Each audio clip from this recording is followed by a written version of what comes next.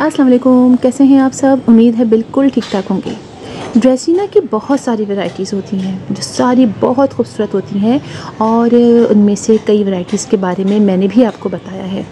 और आज मैं आपको ड्रेसिना की एक और बहुत ही खूबसूरत वैरायटी के बारे में बताऊँगी। ये है ड्रेसिना फ्रेगरेंस इससे पहले मैंने ड्रेसिना फ्रेगरेंस की ही एक और वैरायटी जो होती है विक्टोरिया प्लांट उसके बारे में बताया था और ये है रिकी यानी ड्रेसिना फ्रेगनेंस की वैरायटी रिकी है। बहुत खूबसूरत है और आप इसके लीव्स देखिए और इतना बड़ा ये प्लांट हो गया है बहुत खूबसूरत लगता है। आप ये देखिए, इसके लीव्स के लीव्स बहुत खूबसूरत हैं और इतनी शाइन करते हुए हैं और अगर आपके घर में ऐसे एक से दो प्लांट हो जाएँ तो पूरे आपके गार्डन की लुक ही तब्दील हो जाती है।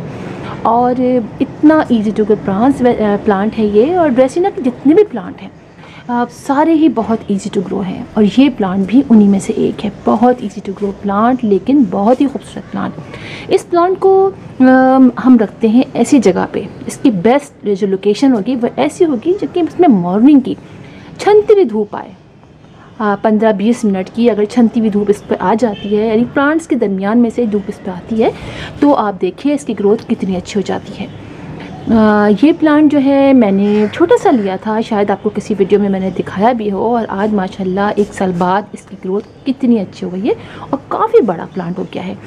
आ, इस प्लांट को ना बहुत ज़्यादा फर्टिलाइज़र की ज़रूरत होती है। जब मैंने पहली बार इसको लगाया था काफ़ी अर्सा पहले मतलब बहुत अर्सा हो गया। पहले तो तब मैंने इसके अंदर जिसकी सॉइल तैयार की थी वो बहुत अच्छी और वेल ड्रेन की। रेसिना के जितने भी प्लांट्स वैसे भी जितने भी प्लांट्स होते हैं, उनके अंदर जो है हमेशा याद रखिए पॉट्स के अंदर हम वेल ड्रेन सॉइल बनाते हैं, जिसमें सैंड कंपोस्ट गोबर की खाद और गार्डन सॉइल मिला के बनाई जाती है, ताकि अच्छी पानी उसमें से नीचे से देखिए, अभी ड्रेन आउट हुआ है। मैंने अभी पानी डाला, इसको थोड़ा सा धोया है, इसलिए कि आज मैंने पानी पौधों को नहीं डाला था, इस वक्त शाम के साढ़े पाँच बज रहे हैं। तो अब मैं पानी डालने जाई थी तो मैंने कहा चले पहले इतना प्यारा ये प्लांट मुझे लगा। तो मैंने कहा चले आप लोग को इसके बारे में थोड़ा सा बताऊँ। काफ़ी दिनों से सोच रही थी, और ये बड़ा हो गया, इतना बड़ा हो गया माशाला से। तो मैंने कहा चले आज तो ज़रूर बताऊँगी। फर्टिलाइज़र की इसको बहुत ज़्यादा रिक्वायरमेंट नहीं होती है। महीने में एक दफ़ा आप इसमें लिक्विड फर्टिलाइज़र डाल दीजिए, गोबर की खाद का ओनली एन पी के का डालना चाहते हैं तो एन पी के का डाल दीजिए। देखिए, हर प्लांट को बहुत ज़्यादा फर्टिलाइज़ नहीं किया जाता है। ये प्लांट उन्हीं में से है। ड्रेसिना की जितने भी वराइटीज़ होती हैं, उनको बहुत ज़्यादा फर्टिलाइज़र की ज़रूरत नहीं होती है। अगर हम ज़्यादा देंगे तो उनके लीव्स ख़राब होने लगेंगे, नीचे फंगस लगने लग जाएगा और प्लांट की ग्रोथ अच्छी नहीं होगी। लिहाजा इसको भी आपने ऐसे ही करना है। हाँ पानी आपने इसको हल्का हल्का मॉइस्ट रखना है।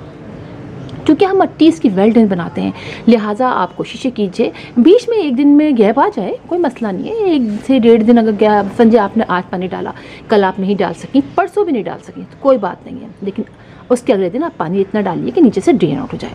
फिर आप बेशक एक दिन ना डालिए। बस ये ज़रूर कीजिए कि चेक करके डालिए। अगर आपको लग रहा है कि लीव बहुत येलो होने लग गए हैं और पानी बहुत कम डाल लेंगे तो थोड़ा ज़्यादा डाल लीजिए। और अगर आप समझ रहे हैं कि हर वक्त गीला रहता है तो फिर आप पानी में थोड़ा सा गैप कर दीजिए। ये आपके ऊपर है, आपको देख के चेक करके डालना है। मैं भी ऐसे करती हूँ। अच्छा इस पर किसी किस्म का कोई पेस्ट का अटैक नहीं होता है और बहुत इजीली ये हमारे घरों में लग जाता है। अच्छा इसके बेबीज़ तो अभी तक मेरे इस प्लांट के नहीं निकले हैं।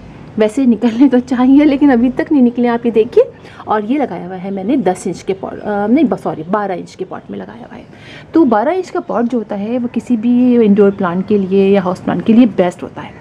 इससे छोटा अगर लेते हैं तो प्लांट का साइज़ भी हम चेक करते हैं कि प्लांट का साइज़ कितना है। बाज़ अगर छोटे प्लांट भी बड़े बड़े छोटे, बड़े प्लांट भी छोटे पॉट में लग जाते हैं। लेकिन ये वैरायटीज़ चूँकि कम मिलती हैं, इसलिए ज़्यादा रिस्क लेने की ज़रूरत नहीं है। आप इसको अच्छे से बारह इंच के पॉट में लगाइए। और मैं रिकमेंड करूँगी आप इस प्लांट को ज़रूर रिसर्च कीजिए और अपनी नर्सरीज़ में और लगाइए। बहुत खूबसूरत प्लांट है, बहुत इजी टू ग्रो है, मैं इसलिए बार बार कह रही हूँ। अच्छा इसके अलावा इस प्लांट को कटिंग से भी ग्रो कर सकते हैं, लेकिन चूँकि अभी ये, इतना फैला हुआ है तो कटिंग का मेरा नहीं ख्याल कि हम कटिंग से इसको ग्रो करें। कभी ऊँचा हो जाए और तो फिर हम इसको कट कर सकते हैं। लेकिन देखिए नीचे बिल्कुल जगह नहीं है। वैसे कटिंग से ग्रो हर ही प्लांट कर लिया जाता है लेकिन इसको मेरा ख्याल है मैं अभी ग्रो नहीं कर सकती। हम्म, आप लोग भी ऐसे कीजिए ग्रो ना ही करने की अगर आपके पास है तो अभी कोशिश ना कीजिए।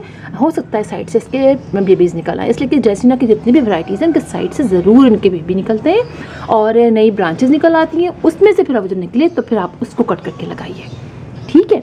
तो आ, ये देखिए आप आप ये चेक कीजिए कि मैंने उसको जिस तरह रखा हुआ है उसके देखिए अभी तक कोई लीव नहीं ख़राब हुआ है। आप देखिए एक दो लीव तो चाहे बताए एज हो जाती है तो लीव ख़त्म हो जाते हैं लेकिन देखिए टिप भी एक दो की मैंने की है लेकिन देखिए ज़रा सी ये हो जाती है इतनी सी तो ड्राई हो जाती है। तो इस तरीके से आप इसको लगाइए और हाँ ये ज़रूर कीजिए कि ज़रूर इस गर्मियों में आप दिन में कम अज़ कम एक से दो दफ़ा इससे पानी का स्प्रे ज़रूर कीजिए। उसको वॉश कर दीजिए। मैंने सर्दियों में भी इसको वॉश किया है। इसकी वजह से इसके लीव जो हैं उस पर डस्ट आ जाती है तो ख़राब होने लग जाते हैं। आप देखिए, कोई भी इसके ऊपर, किसी भी किस्म का कोई पेस्ट का मतलब डॉट भी नहीं है ब्राउन होने का या किसी चीज़ का। तो ये देखें आप ये। और बड़े खूबसूरत तरीके से देखें इसके लीव निकलते हैं, पहले छोटे छोटे से होते हैं, उसके बाद ये बड़े होते चले जाते हैं। और जो नीचे से ये कलर आते हैं, जो कलर कॉम्बिनेशन है, ये बहुत ही खूबसूरत है। तो बिल्कुल आप इस प्लांट को अपने घर में लगा सकते हैं, बहुत ईजी टू ग्रो है, लेकिन बहुत ही खूबसूरत प्लांट है। तो फिर इंशाल्लाह आप लोगों से मुलाकात होगी किसी और वीडियो में, किसी और टॉपिक के साथ। तब तक के लिए अल्लाह हाफिज़।